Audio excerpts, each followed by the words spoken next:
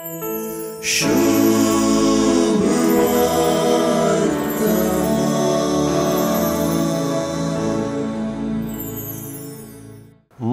सुवार्तेंतली वपार. जाणवायाच्या पुस्तकाच्या नवव्या अध्यायांत जाणवाई आणि मूर्खपण हांचे मोदे जाणवायेक विंचूंक म्हणजे देवाभिरांत आपणावंक दिल्ल्या उल्याक ताळ पडता.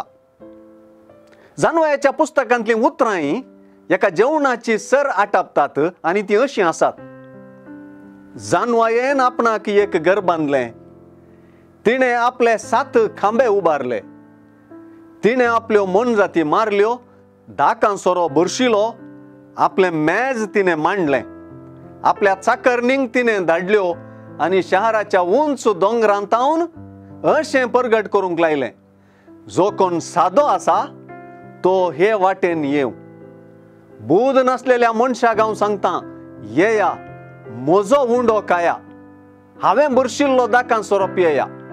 मूर्खपण सांडा आणि तुम्ही जी येतेल्यात समजणेचे वाटेन फुडें सरा. जेजूचे वपारिंती सर्गींचे राज एका वरा जेवणाचे परिस्थितीक सरी केला. आजकाल खंयच्याय कार्याक वा जेवणाक एक ओवळिकेचें पत्र हाती मेळटाना वा आपोवणें मेळटाना वेचे वा नाका म्हणलो निर्धार महत्वाचो जाता.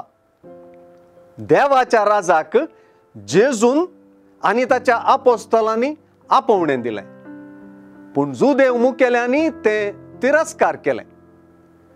जेजूचे सुवर्तेक लाभलेली प्रतिक्रिया सुवर्तेंतली वपार विवरिता. जुदेव मुखेल्यांनी सुवार्ता वा आपोवणे तिरस्कार केले देखून तें पातक्यां आनी सुंकांगारांक फावो जालें. तांणी तें स्विकार केलें. वपारीची समाप्त महत्वाच्यो गजाली भायर हाडटा राजांत भितर सरपाक अवकाश मेळ्ळो म्हणलेंच सगळें सोंपलें म्हूण चिंतचें न्हय. थंय रावंक जोगती चाल गरजेची जाता. क्रिस्त शक सत्तरव्या वर्सा जाल्लें जेरुजालेमाचें विनाश सुवार्तेच्या तिरस्काराक लाभलेली शिक्षा म्हणले परी सुवार्ता सांगून दिता आशेत साल्वासांवाची प्रक्रिया जेजूची वापार विवरिता.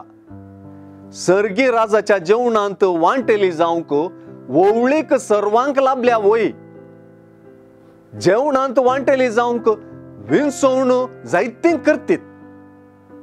जोगत्या नेसना शिवाय राजांत रावोंग जावचें ना तिरस्कार केल्ली नासाच्या वाटेर आसात तें खरें पूण स्विकार केल्ल्यांतय ससाराय आनी राजा उदेशी नाजोगती चाल चलची ना Shoot.